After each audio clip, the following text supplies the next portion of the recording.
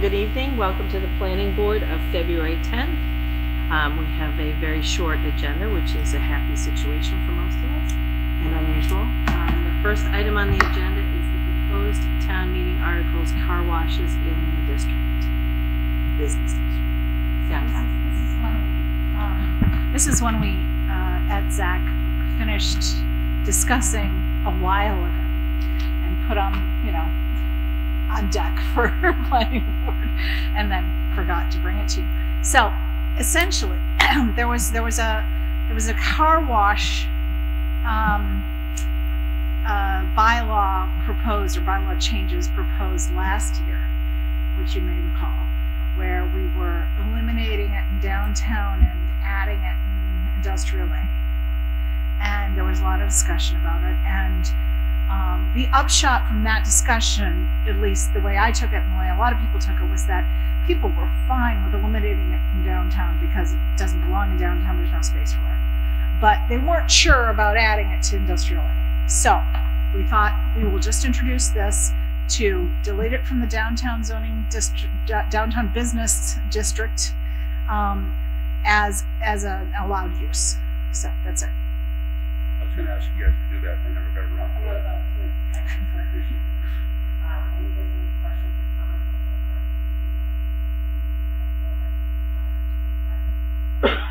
So we added a placeholder and then the plant that board votes that we can fully. uh, We added a placeholder before the deadline. John snuck it in.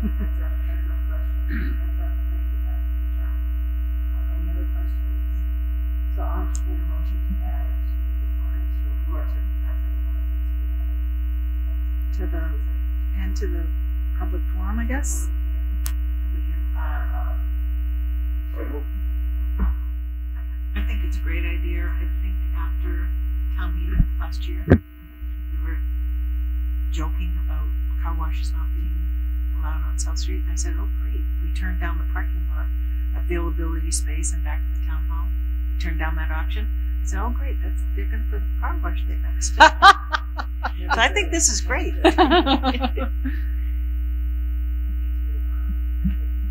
It's just the traffic is, it's not a good Yeah, situation. be The traffic is just too much Yeah. downtown for it. So, um, It's a tiny bit off topic, but I think that the approach to ZAC, I've been pondering that a lot, the new approach to ZAC, I think it's really starting to really reap a lot of rewards for while I know you didn't necessarily remember it right away, cause it was, it was done up front, but it's ready and prepared and ready to go, um, which I really appreciate. like the continuity aspects of the new. Anybody else? General. Yeah. Great. Um, I expressed this at the last town meeting, and I think not having car washes kind of off to the side, not having storage uh, facilities, it keeps the, the rural, the rural hometown feel for opportunity. At the meeting was discussed, we have plenty of options in neighboring towns.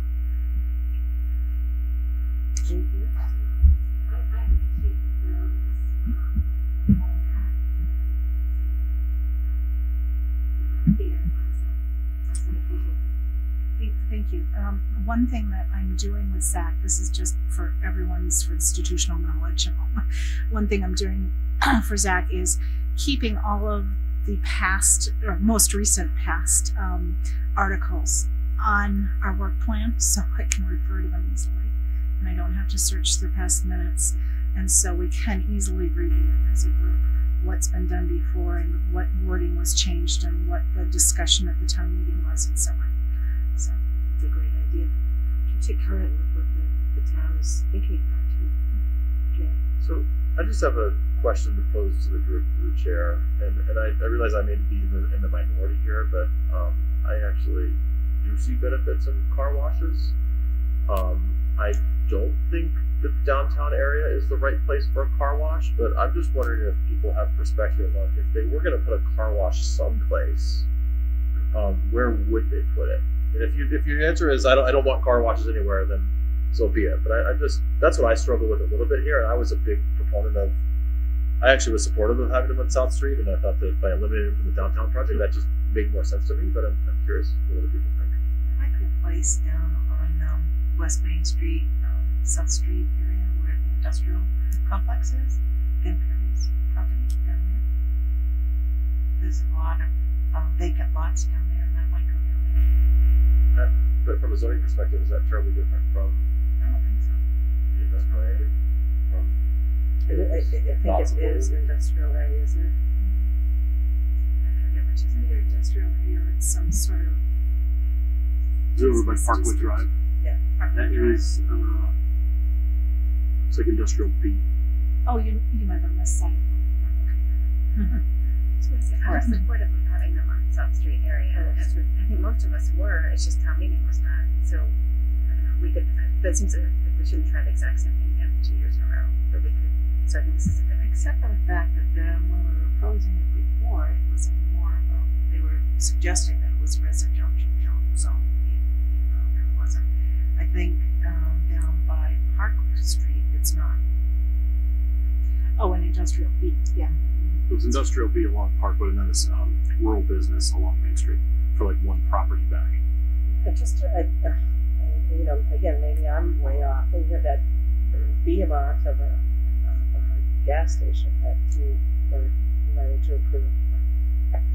Um, and that would be a place for it, right, right off the highway, right?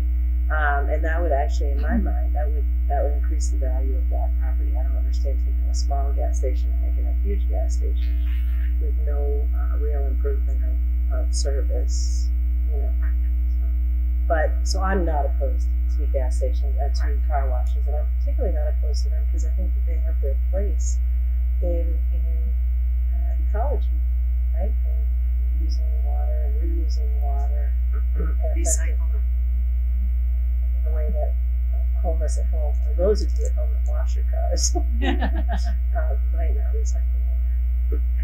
So, yeah, some of the things that we discussed last year before it was about the, you know, the, the technology that it has to be, you know, the highest level of conservation of water, etc. Um, but the other thing that we also discussed sometime in the last year um, was the types of businesses that we are trying to attract to town. Those were, you know, it was not, you know, a foregone conclusion, we went through a process and came to the, the point of, um, we were trying to attract, um, uh, job, businesses that offer relatively high-paying professional jobs, high-density jobs. So a car wash provides neither high-density nor high-paying jobs. But also, of course, you know, when you have the high, high, um, profile jobs, that you also need to have services awards with those to take that home, so restaurants and, and perhaps hotels and things like that. Um, And car washes, car washes, And yeah. So, I just looked it up and it got sixty-six percent of the vote last year. It just needed sixty-seven percent. So Yeah. those are It the was ones. close. Yeah, I think that it was combined, it was not necessarily. And, and I, I agree. I think that I- I'm glad you looked it up because it didn't feel like people were over. it, some people were very close to it, but they made articulate arguments. and- Can I ask a question of the board just to get some thoughts? So I kind of associate this to Hopkinton's no drive-through rule. Like, we don't want to be like every other big town have everything, right? So I'm just curious as to how you So we differentiate this. We have drives, so in the case like what I mentioned, you take a gas station, you got a car wash, a gas station is a drive-through business, we're not opposed to drive-throughs. Um, it's, it would be, in that case, it would be an accessory use, like banks, and that was kind of a big deal for somebody to have a, a drive open or a drive-through area. I think that, um, and I don't mean to be speaking for everybody, but I think that no drive-throughs is really to eliminate sort of the fast food um, attraction and, and, uh, and then often the trash associated with that, and just the, um, the, the destination for a drive-through restaurant is how I picture. However, it has been the subject of um, pretty robust conversation at the Board of Appeals over time. Like the Bank was denied drive-through up on South Street at first. Um, and appealed and got the drive-through. So it's not, you know, you may be right, or you may, you may have a more nuanced. No, I I agree with you that it was the restaurants out but I'm just saying, I think that's something I really like in the town, is to keep Me this too. small town feeling. Me too, me too.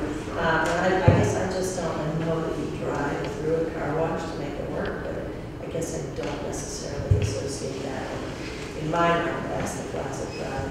There's more traffic.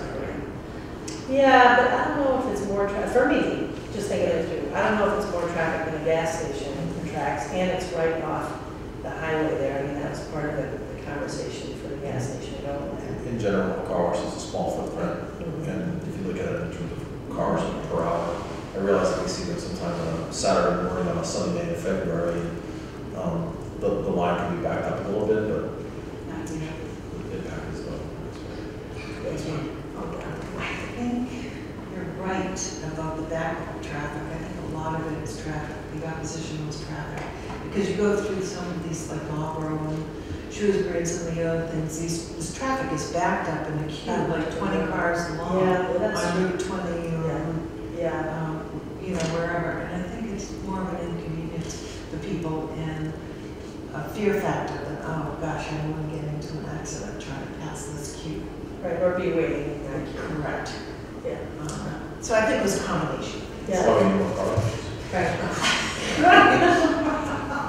From what I remember, uh, maybe from my perspective, is the about McDonald's. green oh, committee viewpoint, was it wasn't, this is before the committee, but it wasn't so much the type of business, it was the, uh, Mary was saying, the trash associated with people driving through and not taking care of their trash. Uh, and that was the sole reason that, that, that I remember that was the cause. People might have felt otherwise, but, I think we should be careful of saying what. I to it's a really good point, that it would come up another time, there was a whole new conversation. But at the time, we directed, I, I remember marching in a, in a Horriblesbury Fourth of July, this, back in the day, when we were picketing against, it was the, the Golden Spoon was gonna, uh, when I say we, some people were picketing, and I I was opposed to a fast food restaurant going in there myself personally, I wasn't actually carrying a sign, but um, I did support that effort. I didn't really want, I didn't want to lose the golden spoon for Wendy's or McDonald's myself personally. I thought that that just changed a lot of what I learned about Hopkinton and so forth. One last thing, um, about, um, just ZAC in general. Um, the other aspect that this represents, this, uh, this bylaw, is that, um, we're trying to focus on, um, not combining a lot of changes into one warrant. Into one- One hour at a time, that's awesome. Yeah, yeah, we learned a lesson, right? Yep. Yep. Um, okay, so all those in favor of adding this to the warrant in the public hearing signify by saying aye. Aye. Any opposed, any abstentions? Nay. When is the, uh, when is the public hearing, Said meeting.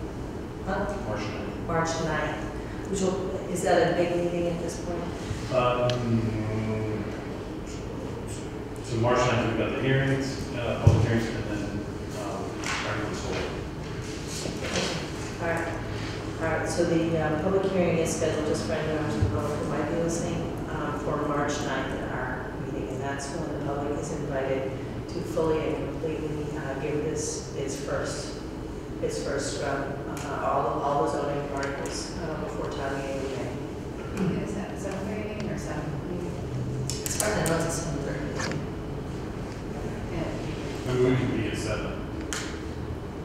I think seven thirty is okay. I just want to start spreading the word. Yeah, a hundred percent. Rather than our difference now, wait. Yeah. That's how we. Yep, and if we remember from last year, it was a, it was a great process, and we understood where some of the questions were, we understood where some of the pushback was gonna be, and and it helped us prepare for town meeting, and maybe we would also make the gardens better. Yep. Okay. John, the approval not required for one forty-nine A Road? So this is the Pink House on Hayden Rowe, if anyone's familiar with that. Um, they're basically taking, so it's two lots, I think the Pink House is on the smaller lot and the big lot that goes back. And they're cutting out from that big lot to make a pink house on a conforming lot and then making the larger lot that goes back essentially a non-buildable lot. This is the vacant pink house. Big, you know, Very run down. Starlight. Yes. What, what we, why, why did it to be a non-buildable lot? We don't know. Okay, so they could never build on it? They could if they get a zoning variance. Who's on either side of them? I'm sorry, yeah, there's not frontages, right. The town owns part of it, on the other side. It, to me, The it's, town owns the stuff behind, Right. so that to the, what is it, to the north. to the north. And, yeah, The north And then and the there's east. Start Line Brewery. So it's an existing lot line on that then? so this, this dotted lot line is the existing lot line. Actually, so I guess the house spans both lots, so we're gonna cut it here, so it's, the house is in one lot. So, But they're, but they're planning on tearing down the house. I, I don't. That's my understanding. Yeah, because they went through this historical To the district. It, I believe they haven't, their demolition delay hasn't expired or will be expiring soon. Right? Oh, I think it's already expired, because It's that's, expired. It it's gonna did be. expire, I think they. We don't have any demolition. But that was before that, though. Thank you, I corrected, my Yeah. now for two months. Chuck, can you just be clear, sorry, through the chair, can you be clear what lot two is? Is it one labeled parcel A, or is it, there's no lot two labeled? So that's kind of a, a nuance of the wording. If it's a lot, it's buildable. So there isn't a lot two. So it's lot one because a lot is a buildable lot. The other is parcel A, it's parcel A piece. But that's the other split. That's the other piece, yeah. So it's lot one, parcel A. Through the chair, to Amy's point, to me, it looks like they're leaving an access alleyway to the road, possibly. Right, I mean, why would you have that then strip if you weren't trying to get access to there, I don't know. And why didn't they just write it front lot and back lot? I mean, we're, it's an AR anyway, so we can't really do anything, but we can discuss it. Could possibly be combined with uh, another neighboring property, I think it's right, that's, maybe that's. an intention. Yeah, we can sell. There's a, a s- um, Capital LLC company that's right below, you know, if you page over the parcel A part, below that, there's another lot owned by a. I think it's owned by the own, the same owner, if you look it up. Oh, online. It's the same property owner that owns both parcels. Okay. So, yeah, so that's probably the The future. So it's, it's, the brewery is here? Yeah. They're gonna own it, and sell it something, but it's taken. Yeah. Okay, I'll entertain a motion to approve, uh, the approval not required at one forty-nine Page Road. So moved. Any further discussion? Just a, one question for John. Any other, anything else we should be looking at here from your perspective? No, I mean, it's frontage and lot size. Okay. Thank you. All those, And- and sorry, just to, No, just to point out, I may have captured this, but it is recorded and registered land. In the new lot, that doesn't affect our decision, that's something they have to deal with at the registry, so if anyone's concerned about that, it's just. administrative. all those in favor signify by saying aye. Aye. Any opposed, any abstentions? All right, um, so we have two sets of minutes, do we have any comments on those before we? There's just some- We have some one set, okay. All right, so we have one of does anyone have any changes or additions or comments? Yeah, Jane, yeah, Jane, um, we're, we're changing some names around, and a little bit turned around and, and adding a bit of verbiage to the, to the end where we were talking about the comparison between solar, the scientific data between, um, solar and trees and, um, conservation. So I'm just gonna get the correct wording and- and send it out to stuff.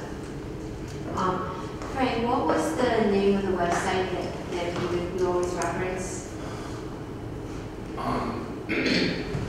Just so I have it correct. Come on, Brian. It's okay, I, you don't put it. There's a gas leak reference, and then, uh, there's a websites ever was provided. He, he met was the gas station, not the. Not this Not one. that. Uh, So I guess Do we you, need to do see you wanna the- get into that? They must have it in Do you- email somewhere. Yeah, Well, At that meeting, you didn't mention the name of the website. I remember thinking, I don't remember mentioning the website, but, we did um, have a conversation.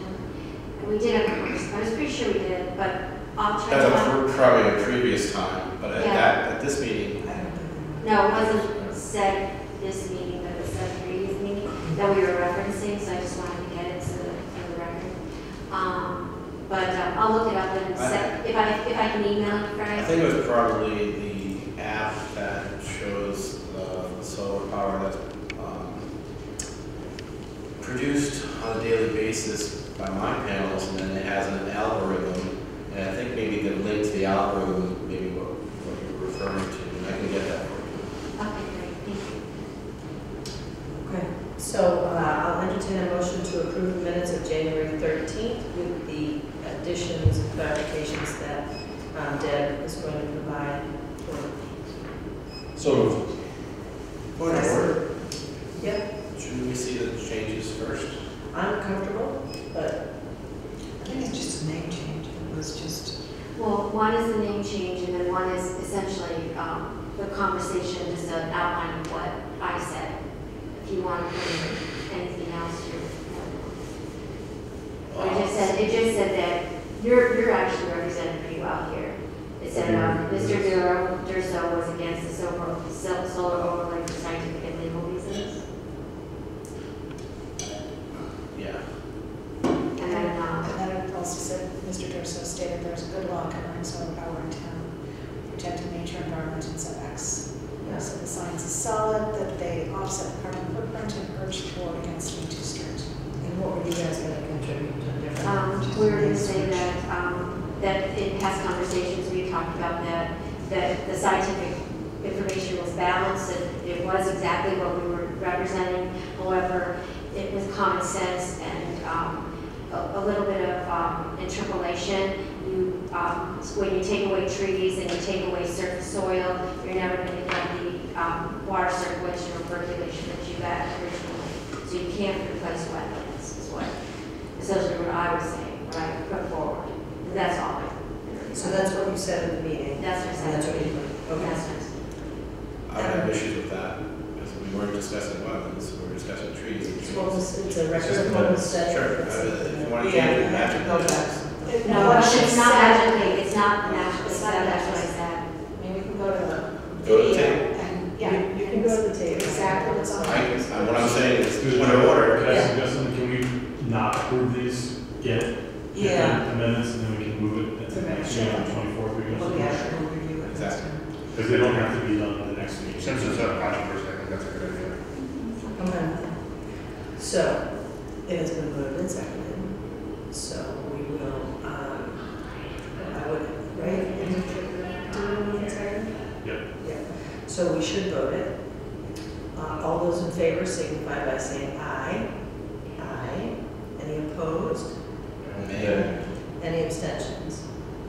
Okay, we'll look at it. First time we ever did it. It's been a long time. Can I just say, you know, but, but we did all of that non-business before eight o'clock. True, So, true, true. look at us go, look at us go.